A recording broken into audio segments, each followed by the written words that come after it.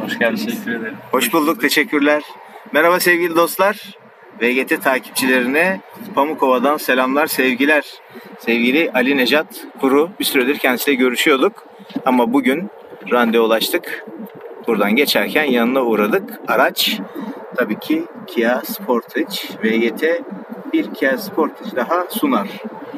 Ulaş Evet. direksiyonda ve sevgili Mehmet Ali. Kamera arkasında da ben Cevat Kelle. Topraşmaların kusuruna bakmayın. Çünkü sabitleyici yanımızda değil. Ama teste çıktı. Araç Kia Sportage. e, manuel vites. E, ve başka ne özelliği var abi? Bir söyleyeceğim şey var mı? Başka bir şey yok. Comfort. Comfort, e, benzin, benzinli. Benzini 1.6 GDI motoru. 1.6 35 GDI. GDI motorlu. VGT'sine kavuştu. Büyük eksikli onun için. Biraz sonra zaten Ali Necat da direksiyona geçtiği zaman söyleyecek aynı şeyleri. Evet. Anla, anlat. özetleyeyim durumu. Az önce kalkış yaptığımda Evet. 1, 3, 5 ve 6 yaptım. Şu an altta mısın sen? Şu an 6'dayız. 90 km hızla gidiyoruz. Çektim ayağımı gazdan ve minik bir dokunuşla hükmediyorum artık arabaya. Özellikle şu anda 6. vitesten inmeyeceğim. 70'e doğru iniyoruz. 60'a doğru iniyoruz. Şu an gazsızız. 50'ye düşemezsin Deme. dedim. 50'ye düştük ve ayağımın ağırlığını çok hafif motordan aldığım ilk tepkiye kadar bıraktım. Ve şu an sabit. Neydi o tepki? Hı? Ne, ne? şu kadarcık bir şey. Parmak tutulması diyorsun. Parmak tutulması biraz Normalde sizin videolarınızı ben bolca izlediğim için e, bunları bu arada. denedim bunları ben. Tabii A- 50 km hızla da 6. viteste araba titreme yapıyordu. yapıyordu değil mi? Ve az önce hissetmedim. Çünkü videolarda merak ettim o. Bir de ben sizden şey isteyeceğim. Reset tuşunu, tuşunu basılı tutabilir miyiz? Ortalama veriyi de bir şey solda. Ekranın orada. Solda, evet. Tripin altında. Ha şurada tamam. Direksiyon arkasında kaldığı için durup göremedim. Tamam. Tamam. Onu da bir resetleyelim. Yani ortalamamızdan görmüş oldular. Çünkü videolarda benim en çok mer- merak ettiğim araçlarda o oluyordu. Ortalama kişi ne kullanıyor?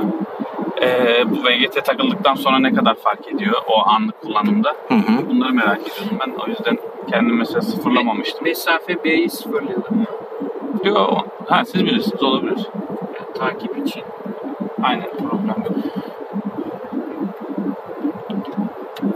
Evet. Evet şu anda e, bir de sana abi küçük bir şey e, aynı oranda gaza dokunarak biz sabit motordan aldığımız ilk tepkiyle süratlenmeyi yakalıyoruz. Bu süratlenmeyi biraz daha arızalandırmak için milimetrik oranda pedalı ittiğin zaman zaten araç kendiliğinden şu anda hızlanmaya başlıyor. Yani şu an ne kadar basıyorsun? Biraz önce göster. Yani şöyle şu Parmak kadar şu kadardı şu kadar basıyorum. Bir Yani tık böyle daha bir tık daha arttırdım. gücü hissettikten Baş sonra parmağını kırdım. Baş parmağımı kırdım şu anda sadece. O kadar az pedala dokundum ve şu anda yüzün üzerine doğru zaten çıkıyor araç. Tabii bunu daha süratli hızlandırmak için çek dokun tekniği var. Çekiyoruz, dokunuyoruz, çekiyoruz, dokunuyoruz, çekiyoruz, dokunuyoruz. Bir daha çektim, dokundum ve aynı oranda sabit basılı tutuyorum. Şu anda araç zaten 120'lerin üzerine doğru çıkıyor ki şu anda hafif bir rampa çıkıyoruz. Evet. Çektim ayağımı gazdan ve şu anda gazsız bir şekilde yolumuza devam ediyoruz.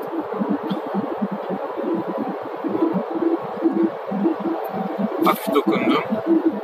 Evet Pamukova'yı çıktık galiba. Evet ben şimdi teslim edeceğim arabayı. Biraz sonra aracı sahibine teslim edelim. Kendi şartlarında, kendi ortamında kendi testini yapacak. Evet.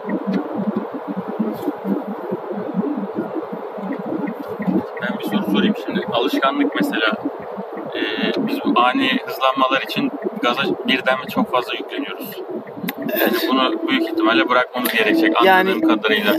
Bunu Ya, evet. bırakana kadar bu sisteme bir zararı var mı? Hiçbir zararı yok. Hayır, hayır.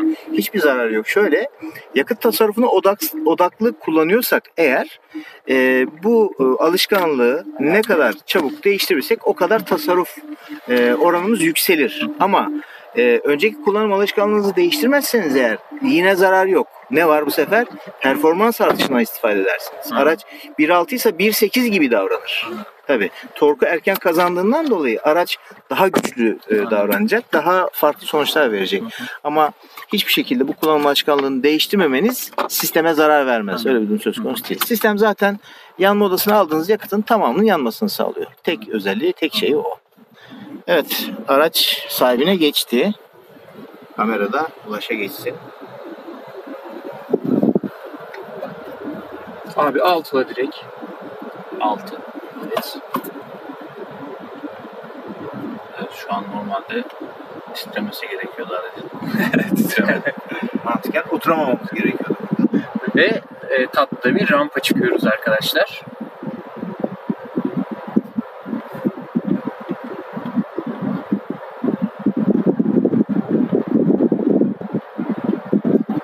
Evet, şu an ayağım sabit.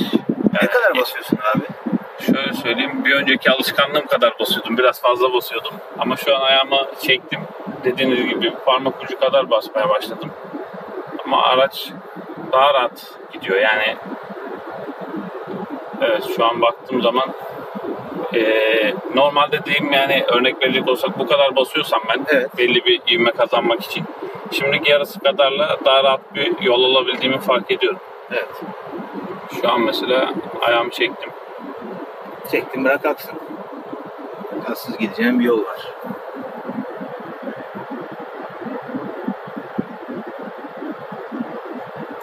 Tabii Pamukova'nın yolunu siz de gördünüz. Genelde hani 70-80'le gidilip de sıkılmamak elde değil. Evet. Genelde ortalamamız 110 kilometre oluyor zaten. Sıkıntı yok. 110'ları da kullanabilirsin. 120 ki biraz önce Ulaş 110-120'lerle se- seyahat etti. Evet. Yanlış görmediysem. Evet. Benim biraz bundaki amacım şeydi zaten. E, performansı arttırmaktı. E, tabii daha detaylı inceleme fırsatı bulacağım ileriki günlerde ama e, şey olur. Nasıl diyeyim? Birazdan uzun yol yapacağım zaten. O sırada bundan önce de yaptığım için e, kıyaslama fırsatım olacak. Dediğim gibi yalnızken de biraz performans açısından da arabamı incelerim, denerim. Yani memnun kalacağımı düşünüyorum. Vitesini Çünkü iki vites arttırır mısın abi? iki vites. Biraz bekledim. Şöyle yapalım. Aynen bekledim biraz. Ben Yani yine de buraları ben normalde burası arttır vitesi abi. Şimdi arttır. buralardan sürekli geçtiğimiz için e, normalde buraları hep ikiye dönüyordum ben. Bu sefer üçüncü viteste rahat bir şekilde döndü. 3 ve artık finale doğru dördüncü vitesle tamamladık. Evet. Şimdi abi indirme vitesi. İndim.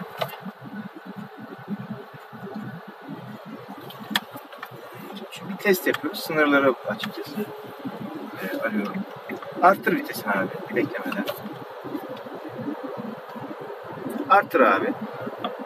Arttır arttır. Aynen düşük Arttır abi viteslerde Gayet iyi. Daha var mı vites? Daha yok. Yapma ya. Kedi yok muydu? İyi alışmıştık. Şurada R var ama.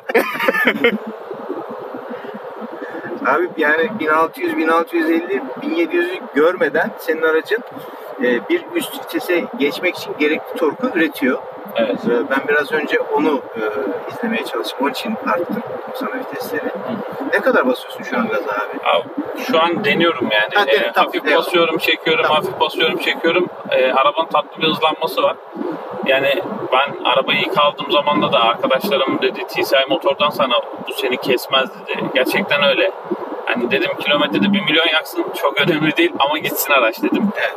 Hani bunu hala da söylüyorum yani hani bir sistem daha olsun onu da yaptırırım gitsin ama yaksın yani araba. Çünkü dediğim gibi çok fazla yol yapmıyorum. Yakıt konusunda çok fazla sıkıntım olmuyor. Ama ne var? Tabii ki tasarruf önemli. Benzinin 6,5 lira olduğu Evet. bir dönemde. Kesinlikle. Yani bu kadar rahatsızlanmayla e, bu cihaz bir de yakıt tasarrufu sağlıyorsa şayet bence gayet başarılı ki zaten YouTube'dan da sizi takip ederek ben bu işe kalkıştım. Sağ olun, ilgilisiniz. Yani mesaj atıyoruz hemen dönüş yapıyorsunuz, arıyoruz, ilgileniliyor falan. O çok güzel bir şey oldu. E bir de test süreci var zaten bunun. Bir ay gibi bir test Tabii. sürecinden bahsetmiştiniz. E, sonuçta İstanbul bize yakın. E, siz de zaten sürekli buralardan geçiyorsunuz. Dediğim gibi yani cihazdan memnun kaldıkça hani bir, bir nevi değiştirmek gibi demeyeyim de memnun kaldıkça arkadaşlarımıza da öneririz. Muhtemelen sizi birkaç kere daha Eyvallah. Ramazan'dan sonra buralara e, davet edeceğiz gibi geliyor. Buralar görünüyor. cennet. Aynen. Çok seviyoruz biz buraları. Tabii ki meyve sebzenin çıktığı zaman gelin daha güzel olur. Süper. e şimdi tabii el- elbette test yapacaksın. Bir aylık bir süre var önünde ama e, bir takım da göstergeler var sonuçta. Daha öncekinden daha az basıyorsun gazına, Evet. gaz pedalına ve e, galiba ki daha öncekinden daha iyi gidiyorsun. Doğru mu? Evet şu an mesela gaz. Hani hiç böyle kuantum fiziğinin bilinmeyenleri gibi de değil. Düz mantık. Sadece emişe bağlandık çünkü. Vakum geçine bağlandık. Tabii ki. Az basıyorsun. Çok basıyormuş gibi gidiyorsun. Az yakarsın.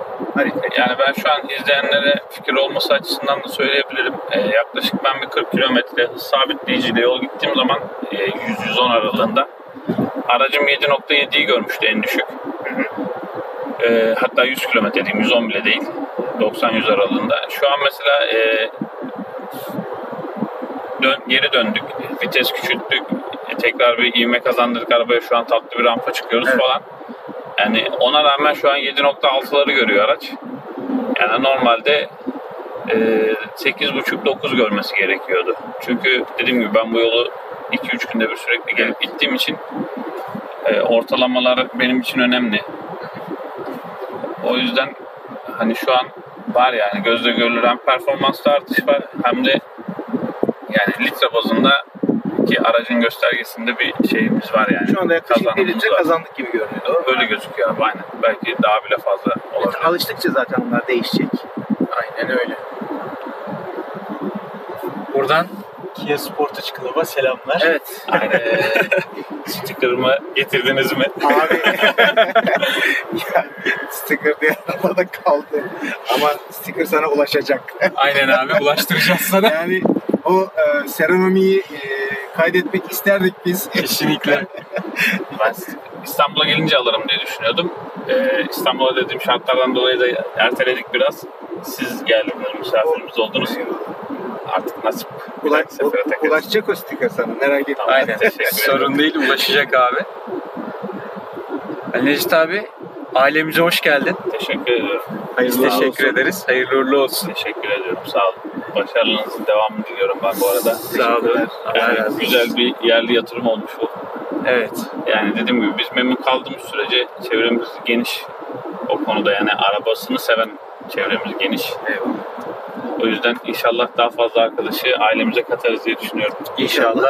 Ailemiz her gün büyüyor. Çok değerli üyelerle. Sen de bunlardan birisi oldun. Teşekkür İnşallah daha da büyüyeceğiz. İnşallah. Evet sevgili dostlar test turumuzu 100'lü 120'li süratlerle daha önce 8.5-9'larda seyir sağlarken şimdi 7.5'la noktalıyoruz. Bir Kia Sportage e, testinin daha sonuna geldik. Sonraki videolarda görüşmek üzere.